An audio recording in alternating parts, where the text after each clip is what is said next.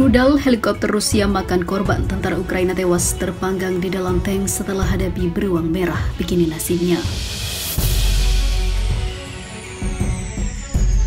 Поражены 25 пунктов управления украинских подразделений в районах населенных пунктов Николаев, Кировск, два склада ракетно-артиллерийского вооружения в районах Воскресенска и Николаева.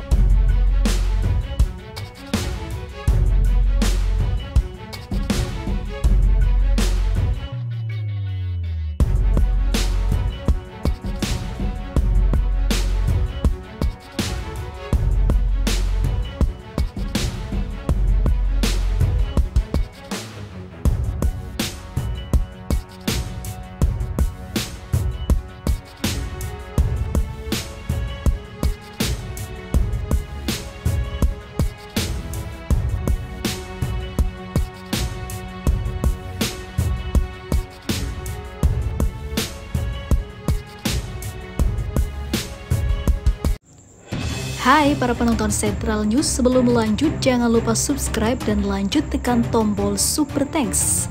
Tombol Super Thanks ada di atas tombol subscribe. Jika Anda ingin mensupport channel kami menyajikan berita yang paling Anda tunggu-tunggu. Terima kasih.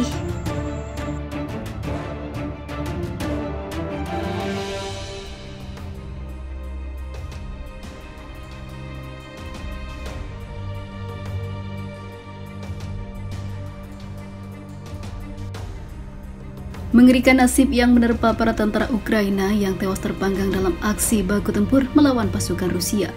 Perang yang tak kunjung usai ini telah mengantar jutaan rakyat Ukraina dalam kesengsaraan yang akhirnya mengorbankan warga Ukraina atas keserakahan Zelensky yang sangat terobsesi menjadi bagian dari NATO.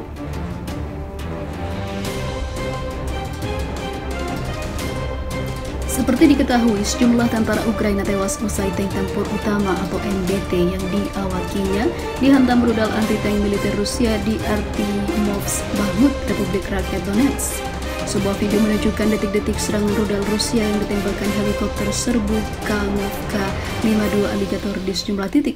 Dalam video berdurasi 1 menit 1 detik itu terlihat tank-tank militer Ukraina bergerak dari hutan tempat persembunyian tanpa menduga posisinya telah terpantau pasukan Rusia.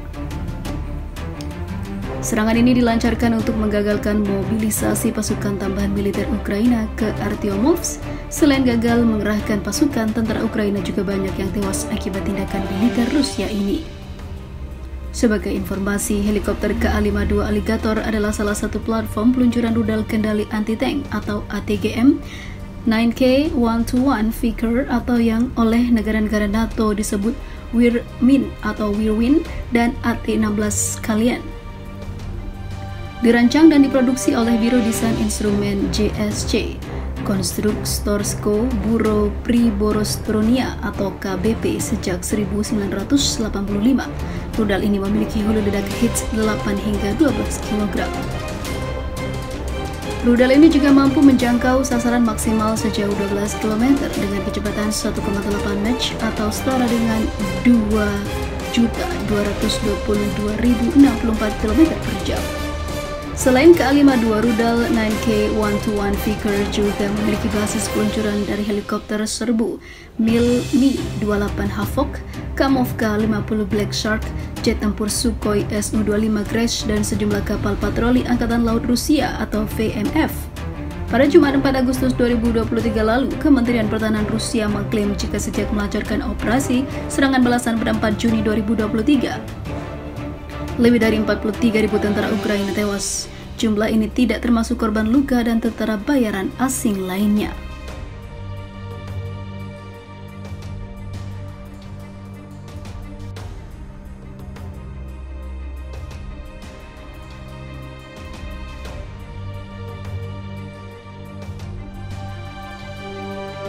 Seorang tokoh garis keras Moskwa yang juga sekutu Presiden Vladimir Putin menyerukan Rusia untuk mengegom ataupun mengebom segera nuklir kota-kota Eropa untuk menghancurkan Barat. Dia menyebut senjata pemusnah massal itu sebagai senjata Tuhan. Tokoh tersebut bernama Sergei Karanagov. Dia adalah Ketua Dewan Kebijakan Luar Negeri dan juga Pertahanan Rusia. Seruan bahaya itu muncul setelah diktator Belarusia Alexander Lukashenko mengklaim pasokan pertama rudal nuklir taktis Rusia telah tiba di Minsk awal pekan ini. Karena Gov membuat seruan itu agar negara-negara barat mundur dalam mendukung Ukraina dan tidak memperkeruh suasana dan juga tidak memperpanjang konflik antara Rusia-Ukraina. Diketahui negara-negara barat justru semakin gencar memasok senjata Kiev yang sedang meluncurkan serangan balasan atau kontraofensif.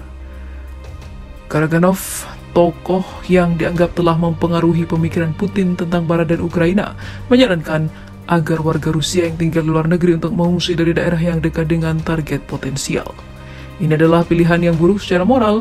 Kita menggunakan senjata Tuhan membuat diri kita sendiri mengalami kerugian spiritual yang parah Tulis dia dalam sebuah artikel berjudul A Difficult But Necessary Decision di Global Affairs, situs web yang terkait dengan Kremlin sebagaimana dikutip express.co.uk.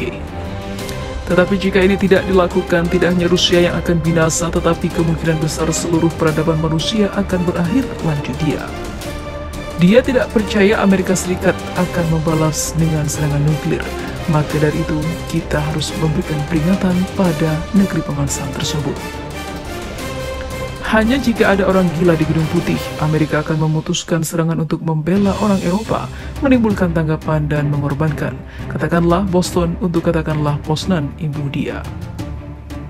Komentarnya muncul menyusul wawancara media pemerintah Rusia dengan Lukashenko di mana diktator Belarusia itu mengatakan negaranya telah menerima rudal dan bom nuklir dari Rusia yang tiga kali lebih kuat daripada bom yang dijatuhkan Amerika Serikat di Hiroshima dan Nagasaki.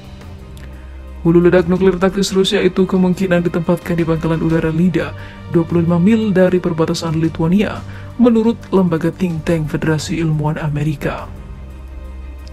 Sementara itu Lukashenko mengatakan dia tidak akan ragu untuk memerintahkan penggunaannya jika Belarusia menghadapi tindakan agresi.